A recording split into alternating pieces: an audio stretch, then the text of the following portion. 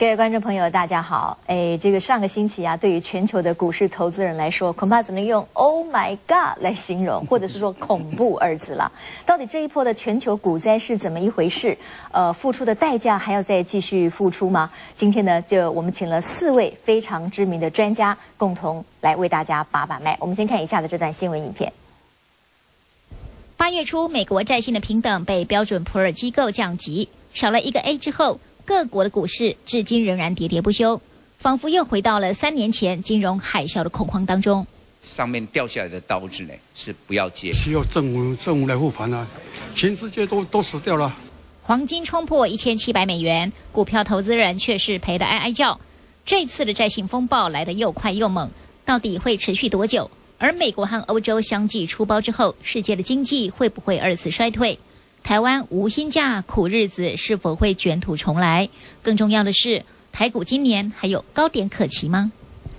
好，我在想啊，其实不管您是不是股市的投资人，那当然了，在台湾的股市投资人呢，还占的数量还是非常大的。我倒觉得说呢，其实对于全球的整个经济的展望，我们是需要不断的去学习了。所以今天呢，我就想说，哎，我们共同来上一场昂贵的课。这个昂贵的课里面呢，我们就是希望以后我们是不是可以付出比较少的代价？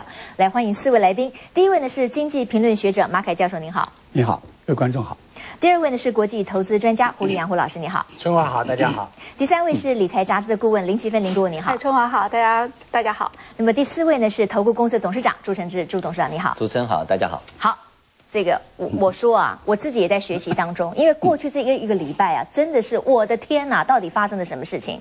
结果后来呢，我相信很多这个民众啊，也开始不断的去各种报章杂志去翻阅一些答案，对不对？就后来发现呢，好像那个元凶啊，叫做什么标普的一个将美债的这个信评啊调降一等，结果呢就让全球的股市付出了这么多的代价。请马凯老师先说明一下这个标普。它为什么会有这么重大的影响力？而调降美在一个等级又代表了什么意义？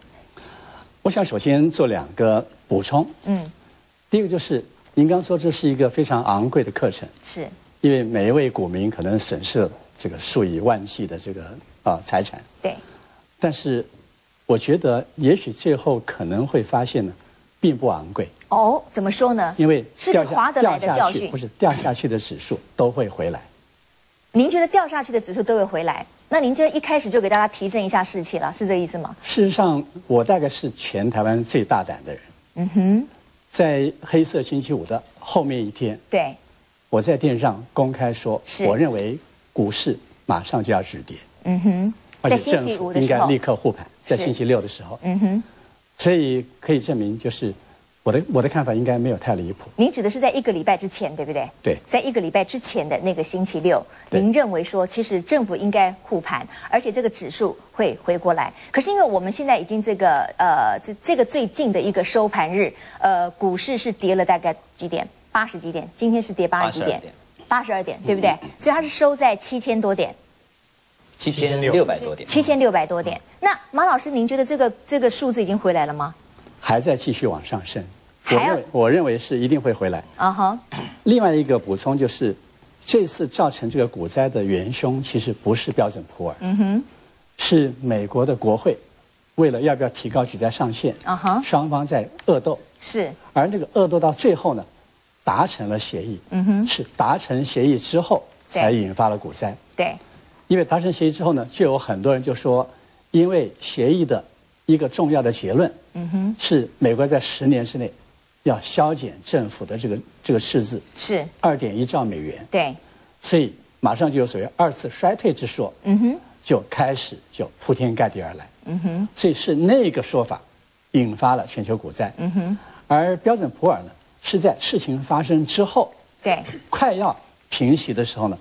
他又落井下石，嗯。嗯，他又补上一计，对，所以他其实不是元凶，他只是帮凶而已。啊哈！但是从一开始我就认为整个这个事件呢是空穴来风，嗯哼，根本不足为虑，嗯哼，他只是在大家内心都有呃余气犹存的时候，他又闪获出一些恐惧的气氛，啊哈，所以完全是恐慌所造成，嗯哼，所以这种恐慌所造成的这个股市的波动，你根本不需要。担心他，可是如果说是因为心里的恐慌，就造成这么大的一波这个股灾的话，我想很多的股民心里面可能觉得心有未甘呐。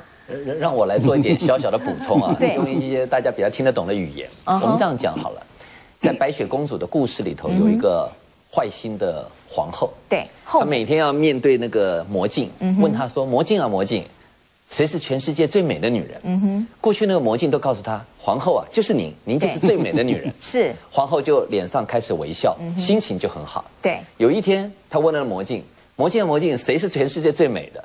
她说啊，您现在的抬头纹多了三条，我要降你一个等级。哦，那个美国的电影最美的哎，现在这个电影叫做《美国队长》。对美国队长是个漫画人物，他头上有个 A，就是那个 A 啊，因为他一眼掉下来了，啊哈少掉一个 A。那对于那个皇后来讲，她心里头非常受打击。嗯哼，她从此开始，她的眼泪也流下来了，她各方面也变了。但世界真的因此而改变吗？没有。嗯哼，我觉得这件事情基本上它就是恐慌，目的没有那么伟大。嗯但是目标普标普标普目目的还没有把它调降了哈 陆续啊，对之前中国大陆的平等公司叫大公，嗯哼，大公之前两三个礼拜就已经把美国降到只剩下 A，啊哈，但是为什么没人理他呢？因因为他是中国，所以我就说标普为什么这么神通广大，影响这么大？对。但美国人每天看的就是那个魔镜啊哦，就标普是美国的魔镜，对就魔他们已经习惯了这个这一天，标普不再跟他说你是全世界最美的时候，对，因为美国人就受不了了。从有史以来，嗯哼，标普只有说它就是是 A A A，对从来都是如此。嗯哼，那你说标普这个魔镜，它也是见人说人话，见鬼说鬼话。我我相信我们全世界有三个 A 的国家有一缸子，是你都会很怀疑那些国家有那个资格吗？嗯哼，比方说最近市场上在谣言，又在说法国。法国也有，也可能会少掉一个 A。对所以因为这有人还个消息，说下一个应该是英国呢，也要把它调降对。啊，每个人都在说啊，所以 所以这个问题就来了，所以大家心里头要有准备。就是说，这个市场上面的的确确，很多平等公司不是问题，不是它造成的，它只是帮助你踹下去。我先听一下这个胡老师跟这个我们林顾问，您觉得这一次啊标普调降这个美在线的平等到底有没有道理？一句话就好，我觉得一定是有道理。有道理。那胡老师你觉得有没有道理？我们从实物经验上来看，这个这个这个调降 没有什么太没什么大不了吗没有吓得像股市要跌成一千点，像我们台湾股市那那不就冤枉了吗？如果这四位老师都认为说，事实上不需要做如此的过度反应，好。我来补一句话，请请请等一下，因为，因为我要先进一段广告，广告回来之后，我们继续跟大家来讨论这次为什么会造成了全球的这个股灾。那么标普调降了美国在线的平等，从三 A 来调降到这个二 A，到底它的影响会有多大？调的有没有道理？有人说他是落井下石，不过有人说他非常的有 guts，那到底是怎么一回事？马上回来挑战面对面。